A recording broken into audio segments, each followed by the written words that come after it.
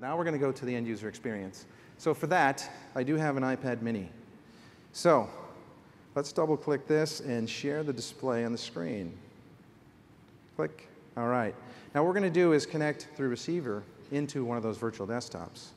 And what we're going to show you here, let me go ahead and refresh this, make sure we're good to go. What I'm going to show you here when we connect is connecting into a Windows 8 virtual desktop, but it's using receiver that's on the iPad, so the mobile MDX receiver that's been enhanced with some amazing performance characteristics. So you can see here, so I'm on an iPad, you know, I'm sliding back and forth here, right? I can minimize this, you know, drag this around, you know, multi-click, zoom it back out. I can get into the charms on the side. It's pretty amazing here, right? I can pop open applications like the store, you know, scroll through the store, right? Again, pull the charms up, come over to here, open up Internet Explorer.